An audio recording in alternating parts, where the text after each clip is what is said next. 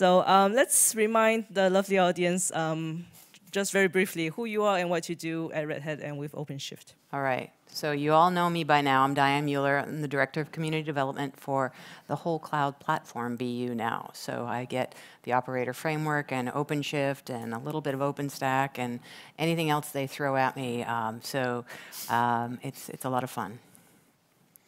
I'm Ilkka Tengvall, Solution Architect at Red Hat here in Espoo, and uh, mainly doing OpenShift, OpenStack, cloud-related automation stuff.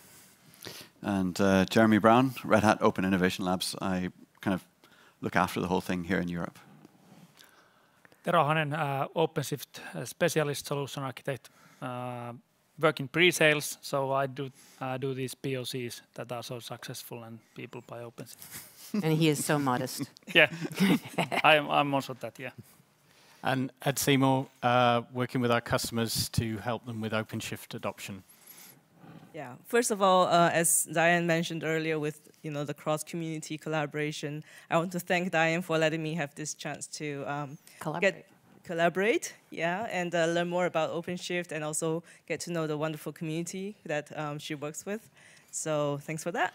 Thank you. And uh, speaking of community, and um, because I also you know do something similar and um, you mentioned earlier on today with the change of the name of from OpenShift uh, origin to OKD, and it wasn't mentioned until Ed came up and you know talked a bit about it. Maybe you can tell us more about um, what you want the messaging to be like and um, how, how you want it to do. Well, well conceptually, when um, OpenShift was first created, it was, as I said earlier, uh, a Ruby on Rails platform as a service using MongoDB, and we had all these wonderful um, almost proprietary um, naming conventions of gears and cartridges. And for the, I've been with Red Hat now a little over five years. So for the first couple of years, um, we were always trying to evangelize that platform as a service. Um, and then when we pivoted to Kubernetes, um, the open source project has always been um, Origin. And when we pivoted, we kept the same name for the open source project that is under the hood. But um, it didn't really reflect what the, the, true nature of the open source project was. So the renaming um, initiative is really around making it very clear that our open source um, project that is upstreamed into OpenShift, all the products, is a, a community distribution of Kubernetes. So um, I think there was a little confusion about that. So we're hoping that um, by coming up with OKD as a name, um, much like RDO, it means you, we, are not um, legally allowed to say exactly what it is, you know, or call it an acronym. It's not an acronym. OKD is the name. Um, eh, you can think of it as, okay, Diane, you know, really? so anytime anyone says OKD in the engineering team, I think they're just agreeing with me, right? So yes, I need that in OKD. Yeah, cool. So, um, but it really is all about um, making sure that your, the people who are using the project are aware that they are getting a distribution of Kubernetes every time they download and install it. So um, we're, we're hoping the name change isn't too confusing. I don't think it is. Um, and to make sure that it's really not that confusing, we didn't change the repo at all.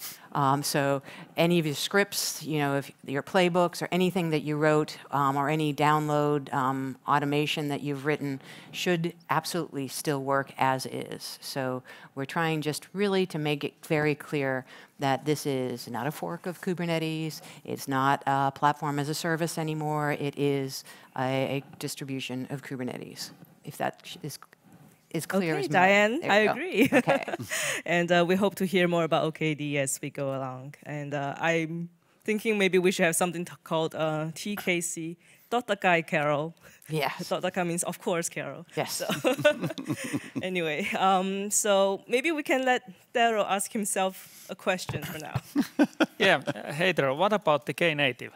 That's a great question. Uh, uh, Google announced uh, in uh, Google Next Knative initiative, which is basically a framework uh, to help build serverless solutions on Kubernetes. So it uh, uses res custom resource definitions to build the basic glue between the serverless implementation and, and Kubernetes. And the Red Hat's Cloud Functions will be built on top of Knative, uh, and we are contributing to it. And there's a proof of concept code on GitHub at the moment that Yeah. Ben Browning has been doing. Yeah. So check it out. I, he, and a demo. There's a video demo as well. He's published a blog and a demo. Oh, So uh, yeah, Okay. it's quite cool. All right. So maybe at the end of this, we'll share all the different links and slides. Oh, yeah. Yep. There will be a recap blog, trust me. Sounds good. So um, this is the first time I'm actually hearing uh, more details about the innovation labs. So maybe you can tell us. Uh, you mentioned that there are pop-up labs that can provide very similar um, um, services, but what what is special about the physical labs that maybe people who like me like to travel who want to go and and you know how how, how would you describe what the, the additional stuff you can provide at the physical labs Um, spaces? so, uh, by the way, what's the secret sauce about what we do? Um, it's the open part, so the open innovation labs. Um, I think, in some ways, I think that there's nothing special about the the physical space at all. Um, but actually, we did design the physical spaces with a lot of intention about how we were using the space. So, um, if you come and visit us in London, I hope some of you do come to London to visit. Um, it's kind of a funky space because we didn't have a, a, like a huge big room. It's quite a long, thin space, and we use it for a lot of different things. So we actually built it to be constantly changing. Um, so everything in the space is on wheels. So we even have lots of plants. I, I, I kind of I actually originally wanted a a living wall in the space, but our uh, workplace solutions people told us that living walls are expensive, Jeremy, and we're an open source software company, so we don't make that much money. So you can't have a living wall, but you can have some plants. So I said, can they all be on wheels?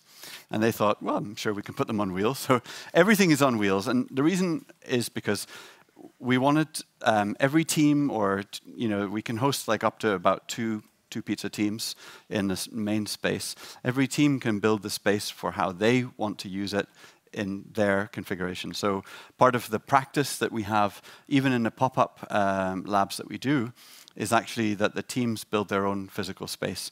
Actually, um, other companies are also doing this. So Valve, who make um, computer games, all the desks in the office are um, sit-stand desks that the, the actual desktop machines that developers use are on a kind of mounted inside and um, they're all on wheels. So literally when a developer wants to work with another team, they can just unplug, roll their desk somewhere else and, and actually plug in again. And that's kind of the principle that, that we used. Um, so that's kind of cool.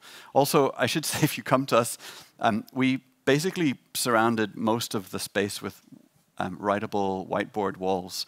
And we didn't have enough space, so we've actually taken over all the windows. And um, we also have like post-it notes everywhere. Um, and I think that's one of the things that you can take from our physical space. And I think if you talk to any of the people that have been in some of our residencies who are here, um, is that we really like um, making all of the work that we do visible and transparent so that we can have a conversation about the work. So we actually use physical Kanban boards or physical sprint boards. Um, all of our architecture is kind of in the open. So that's some cool things. I could talk loads about it, but um, yeah. Sounds nice. I'd like to visit it myself. So um, I have more questions for our panel, but um, maybe it's time for me to get some exercise. So if there's anyone in the audience with some questions, we'd like to hear from you. Uh, come on, shy, come on. Finland. You we just we have to need wait. to bring in the beers now. So yeah. The trick in, the trick in Finland is you just have to wait longer. okay. All right. All right. So um, for Ed, um, you, you mentioned about you know f- figuring out how, how an application can be containerized. But as as um, Daryl, when he talked about serverless, there are some cases where you don't go serverless. Is there some very obvious or you know clear cut cases that you don't containerize an app? Uh, yeah, absolutely. I mean, there's. Uh, so we we touched on a couple of those in in the uh, presentation around you know maybe the architecture isn't quite right and things like that.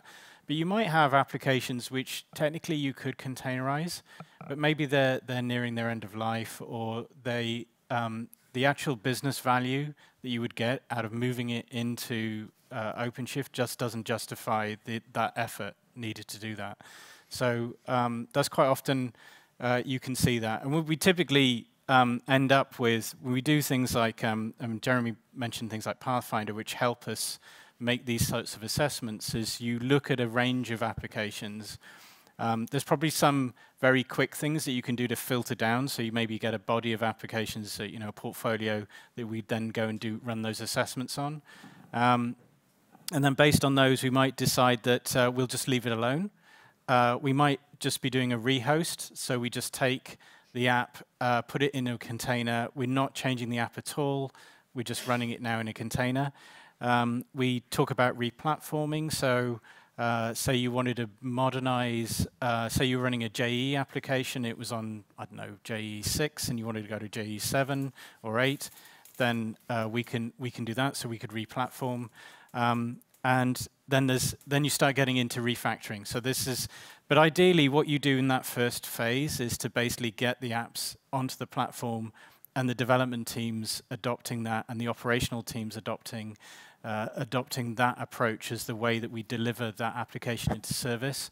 And then once you once you're at that point, you you've got you know what you might call a fast fast moving monolith, and so we can then very quickly then iterate around that and start making uh, improvements to it and innovating around that. Can, can I Thanks. comment on the Sure. fast-moving monolith? So, so many of our customers are coming to the Open Innovation Labs to do microservices for the first time. And I really think that they're trying to go in the wrong direction, and the fast-moving monolith is actually what they need. Um, the microservices introduce a super complex distributed system problem for developers, and the only reason you would do that is where your monolith cannot, you know, I think in, the rule of thumb is that um, with a monolith, usually, especially, if, it's basically down to the number of people that can concurrently work on that monolith at the same time. And the reason you go microservices is to split it out so more teams can work in parallel. But a lot of our customers are doing microservices with like a development team of six. And I don't understand that, right? So um, I know that it's kind of cool to do it, but I've we've had to try to tell customers, look, maybe just take it back a bit and do the monolith, um, because that's all your business really needs. Because we all want to do cool technology. Um, I don't know if you've. One addition. You don't need the microservice to uh, start the cultural change. Yes. Yeah. yeah. Exactly. Yeah. Oh, very good considerations. I- I, I think, yeah, the, the thing about people always want to chase after the latest, coolest technology, and sometimes we need to pause and think about, is it really necessary? You know, it doesn't apply to all cases. So again, any questions? Good. All right, I can run now. Uh-oh. Oh, this is We're going going to to get a Linux kernel question. Oh, Sort of. Um, oh, great. but well, well, the Ed. technologies here and the kind of uh, open source and everything like that is all about the community. So I would like to each of you to describe what is what do you consider the top first uh, most meaningful contribution to the community here?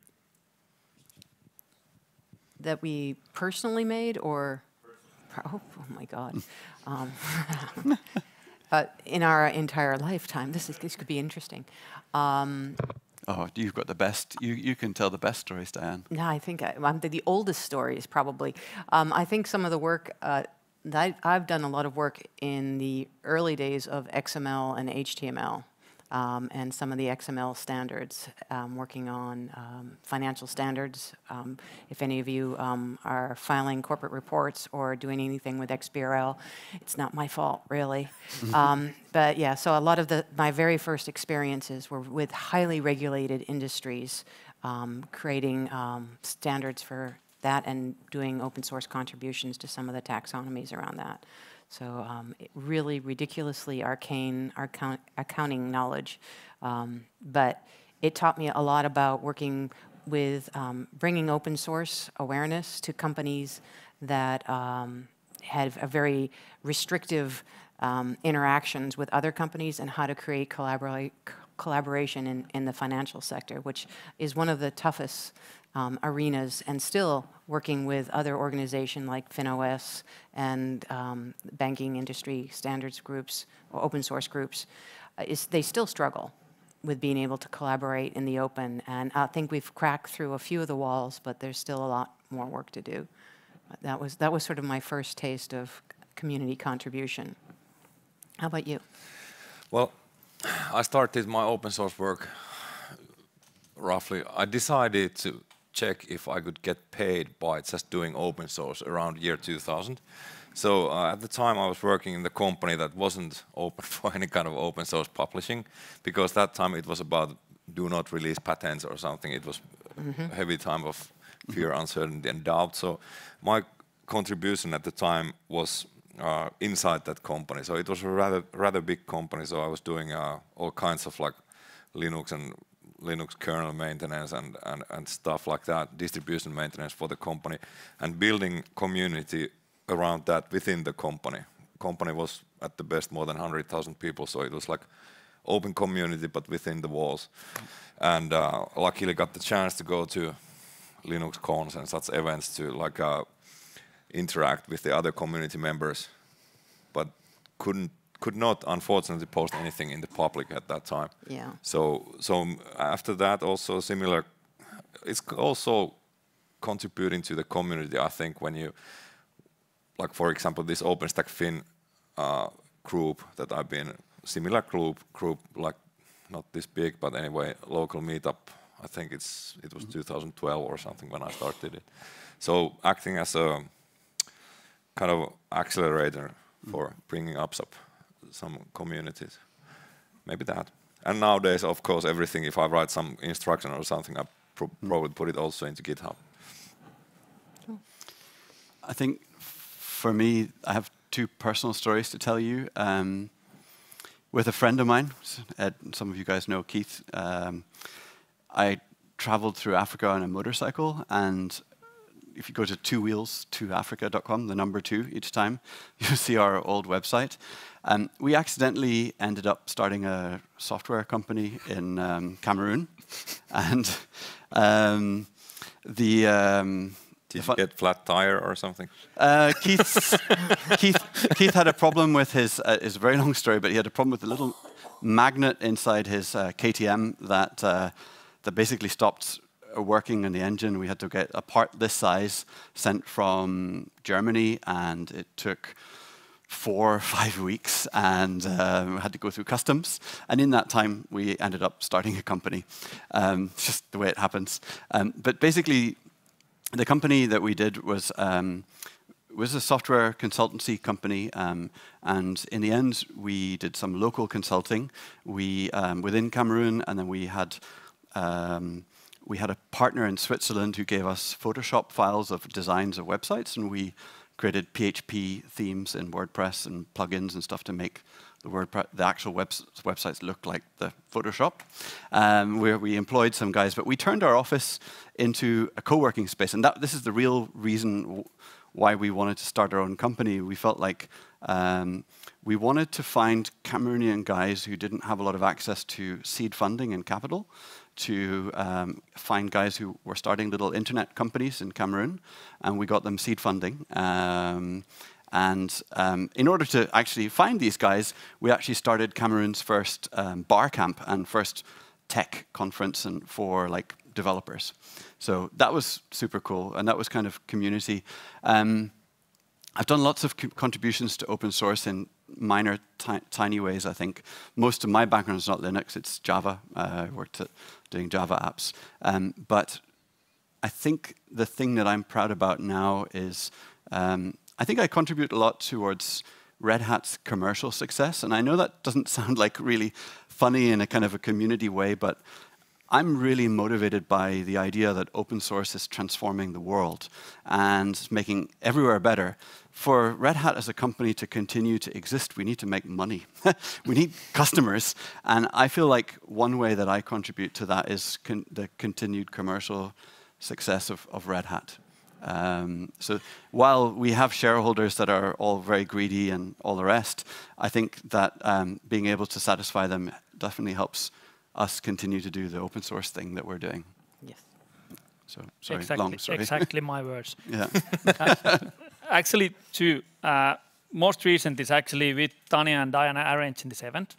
Uh, but I haven't done a code contributions. But let's say that sometimes I find a feature in our product, product so creating Bugzilla tickets, so informing about those features that we might have, so that they can be fixed in the upstream. I think that that's the most important that I how I have influenced. Okay, cool. Uh, so uh, I started in development actually, so um, like in the mid 90s, and um, around 2000 we started writing in Java as well. Um, so yeah, I, I, started off as a developer. Um, I would I don't write code now, but if I do, then don't touch it because it'd be horrible. Um, you got the container. Yeah, it would be nicely contained. Yeah. Yes. Yeah. But what what we found with um, so doing Java in sort of the early 2000s was there were all these libraries and we could start building uh, stuff together. And I became more and more aware of open source as a as a as a real force for good from a technical perspective as well. In that we were we could build um, our application in a way that was right for that application and the application design, and not be locked into making choices that were there to drive a particular proprietary business case um, that we would if we were buying software from a from a from a vendor. Um, so I, I, felt it actually improved the quality of our software. It was still pretty bad um, by using open source uh, technology. Um, I'd say uh, nowadays, moving on, um, it actually getting involved in communities. It doesn't need. It can be, you know, as Tero was saying, we can, uh, you know, contribute just by raising issues, or um, you know, there may be like a, a docs bug or something like that. And um, I mean, just I remember the first time getting uh, a PR accepted. It's like, wow, this is really cool. I'm mm. really part of something. Uh, and it was just a really simple thing. It must have been like one line of code or something. Mm. But um, that that kind of stuff is is really great, and it you really it really feels like you're you're um, you know you're actually contributing something really valuable and worthwhile. Um, so that's my experience. Great question. I actually got to learn a lot from of my own colleagues, and um, I've actually heard of um, Two Wheels to Africa. I just didn't. Wow, nice to meet you in person. yeah. And I agree. Uh, contribution to community is, you know, not just code. You know, organizing events, um, attending events, telling your friends about it, uh, translations, design. There are many, many ways you can contribute. And uh, I'm actually going to abuse my moderator privilege and tell you a little bit from my point of view what I did. Um, I used to work for Nokia, and um, we were I was working in the video uh, multimedia team, and we contributed to this uh, open source project called uh, Helix Engine. I don't know if anybody know about that. By Real Networks, it was a, a cross-platform multimedia um, framework. So that was my also first uh, open source kind of um, experience. Well, I, have used Linux before, but more as a user. But so that was that. But there wasn't as much of a community around it. So I would say uh, even more um, influence or, or uh, stuff that I did was after leaving Nokia, I started organizing like MeeGo meetups, and later joined Jolla, the company which I think many of you here might know, and uh, built a community around Sailfish OS. So, and of course, then uh, a couple of years later, I'm here at Red Hat doing more for open source and for the community. All right, thanks for that question. Any others? I, I would add one more thing to the, experiences in community. Um, not needing to be code um, mm. contributions. One of the very early jobs, um, I'm a Python person, not a Java person. I'm, am I the only Python person on stage? Probably. Um, yes, all right, good. all right, there's more than one of us, and, and we do know Go. But um, one of the first jobs I had um, for the Python community was reviewing all the licenses in all of the READMEs in all of the Python libraries for ActiveState's. Um, distribution of Python. And talk about learning curve, you know, like, and, you know, because you made, needed to make sure there wasn't like a poison pill um, kind of license in the distribution and that somebody hadn't snuck one in or forgotten to put one in. So my um, big lesson that I learned through that was I probably could tell you um, all the different licenses that are out there in the Python world, or were about 10 years ago. Um, but also, the one thing that I would always say is if you're contributing code back in there, make sure you put a license in there.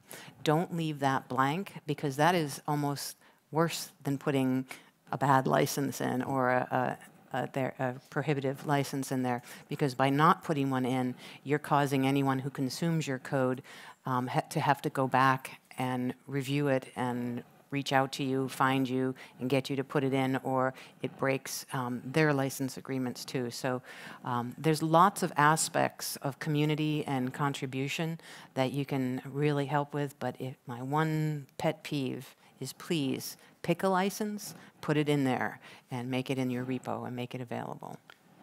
Can I make a comment on the license thing? I think don't just pick the most permissive license. Be really thoughtful Yes. about what you're doing when you're doing the license. Um, also, when you put a license on a piece of work, um, it's kind of affects that work. And if someone finds that you had an old license and you changed it, there's some implications. So, and, and my personal view is, um, I would strongly recommend that you consider uh, the copyleft licenses if for for a lot of use cases um, to protect your work. I- I- think about it like DJs.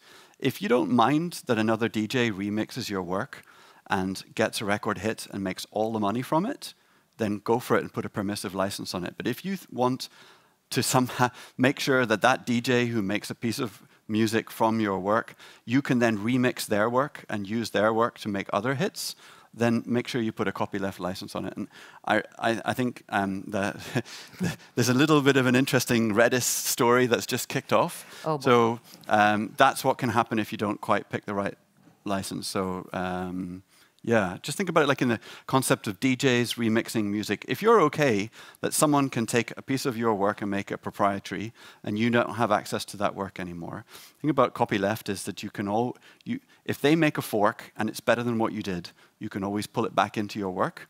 Whereas if it's permissive, you it, the remixability disappears. Yep. Just a thought. There you go. Yeah. We could have a long conversation about that. But yes, thank Yeah. you for bringing that up. Good. Great advice. Daryl, did you have something? If Uh, if you want to contribute, feel free to catch us from the uh, meetup.com and have an OpenShift meetup. If you have a team, you have a venue, you have free beer, that's fine. We can help you. We can help you find a speaker if you have a topic. We can find speakers. So if you want to basically build this OpenShift commu- community in Finland. Yeah. Yeah, very good. um, any other questions?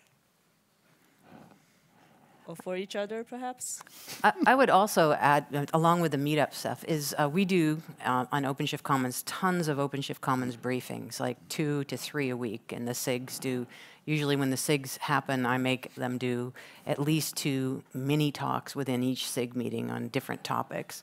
So there's lots of content out there. But what I'm always interested in is hearing what you want to hear about. Uh, so if there's a topic that we didn't cover today that you want to hear more about, um, could you let us know over beer or something like that? Or if there's a topic that you want to talk about, if there's some open source project that you want to, you know, hear about, um, on pontific- pontificate about or promote, please let us know. We really, um, I always joke, I don't like to hear the sound of my own voice anymore. I mean, I really want to hear what, um, what's going on out there.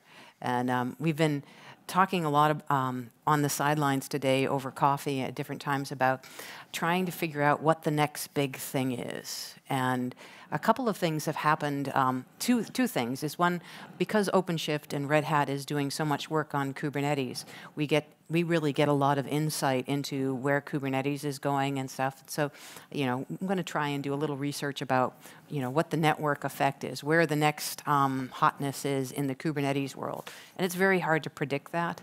But um, I also think that there's quite quite a bit of one of the things that's been wonderful about being part of the Kubernetes there is sometimes I get to be one of the reviewers for the call for papers for KubeCon. And I think KubeCon this time had over 6,000 submissions, right? So if you submitted to KubeCon and you didn't get accepted, don't feel bad because there really weren't, I forget exactly how many speaking slots, but it was like somewhere on the order of 300 speaking slots. So, you know, you didn't get in. But if you get asked to be the reviewer of a conference, volunteer and say yes, because you can't believe how much you learn about what the new things are or what people want to talk about and are passionate about. And I have learned so much by just looking at the agendas for conferences and reviewing people's papers um, about what's coming down the pike. But it's you guys out there that are really going to help us understand where we should be going with OpenShift and with Kubernetes and with all of the other projects at Red Hat. So please, if you have topics that we didn't cover today, or we're not going to cover tomorrow at the Red Hat Forum, um, please let us know and, and tell us over the beer that's coming shortly. There's a promise of beer.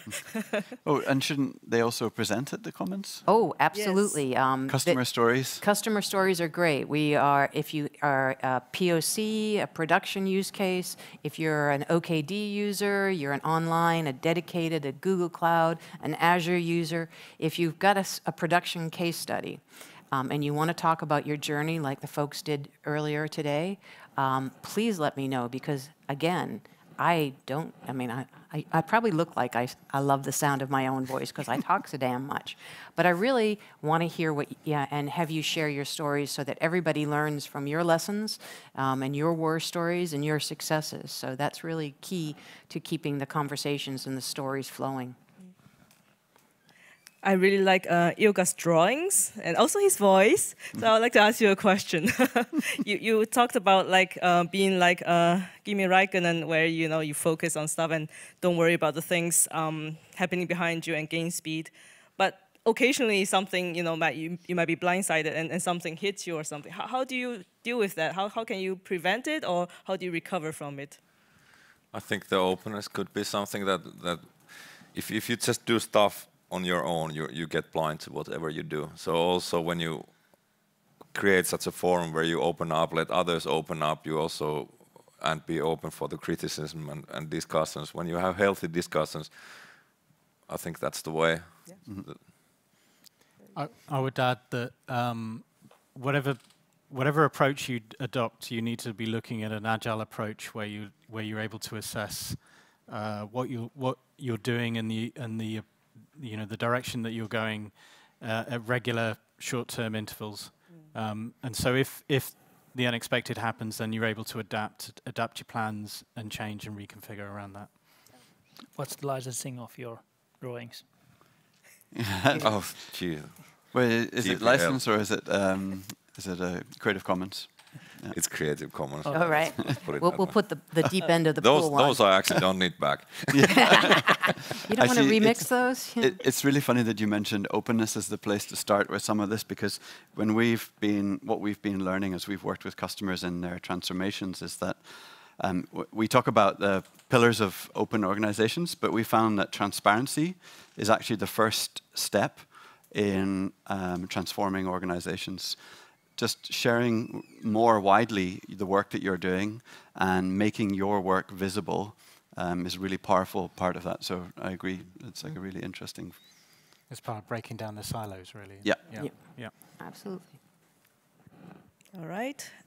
Any other questions for our lovely panel?